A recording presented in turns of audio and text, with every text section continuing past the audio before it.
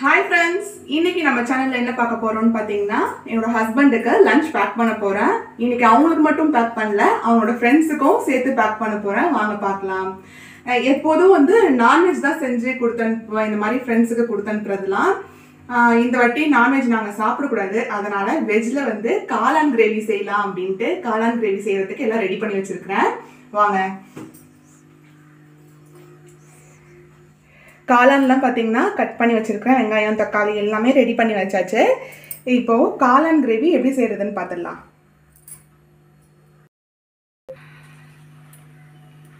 அடுப்பில் இப்போ சட்டி வச்சு எண்ணெய் ஊற்றியாச்சு பட்டை கிராம்பு தாளிச்சிடலாம். பிரியாணி இலை. பட்டை கிராம்பு ஏலக்காய் இதெல்லாம் போட்டுடலாம்.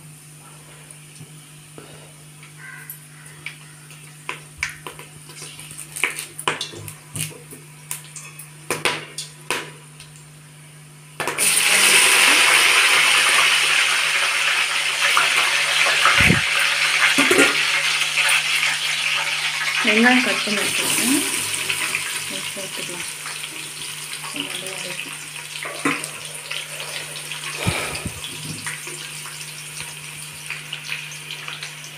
இன்னொன்று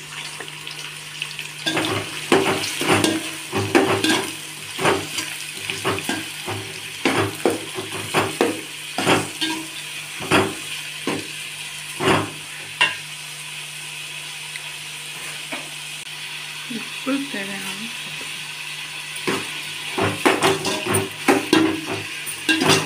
துணி வச்சுக்க வெங்காயம் நல்லா வதங்கிடுச்சு. இப்போ கட் பண்ணி வச்சிருக்கிற தக்காளியை சேர்த்துக்கலாம்.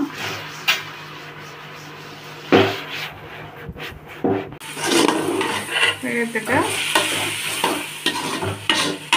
நல்லா வதக்கிக்கலாம்.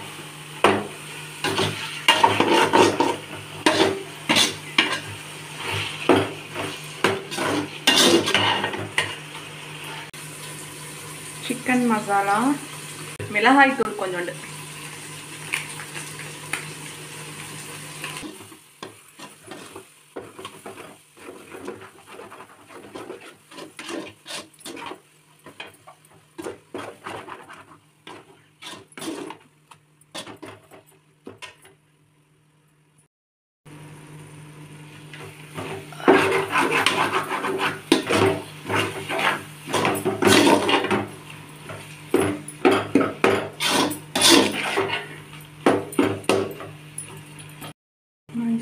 கொஞ்சம்.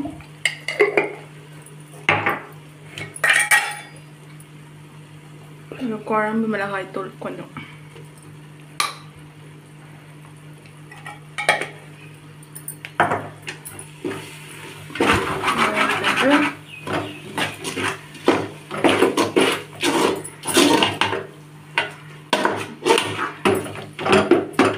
மிக்ஸ் பண்ணிடலாம்.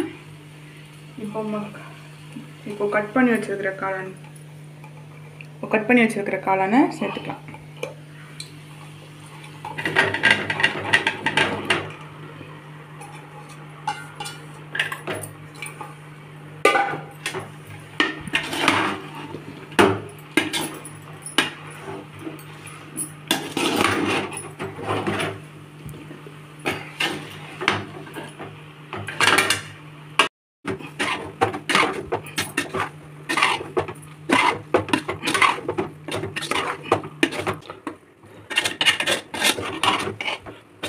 ஓகே உப்பு கம்மியாக இருக்கிறதுல கொஞ்சமாக சேர்த்துக்கலாம்.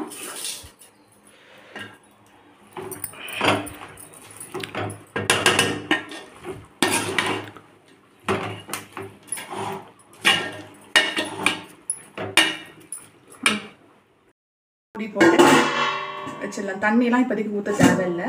காளான்லேருந்து ஆல்ரெடி தண்ணி விடும். அது பத்தலைன்னா ஊற்றிக்கலாம் அப்புறமா.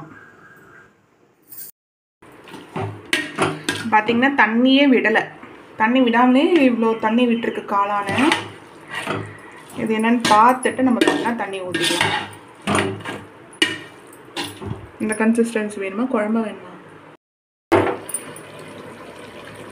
தண்ணி ஊற்றிக்கலாம்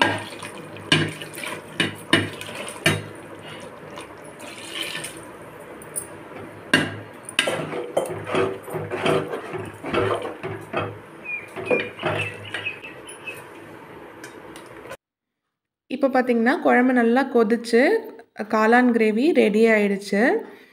லாஸ்ட்டாக கொத்தமல்லி தழை மட்டும் தூவிக்கோங்க. இப்போது சூப்பரான காளான் கிரேவி ரெடி இந்த வீடியோ உங்களுக்கு பிடிச்சிருந்ததுன்னா ஆசம் அரோமா சேனலை சப்ஸ்கிரைப் பண்ணிக்கோங்க.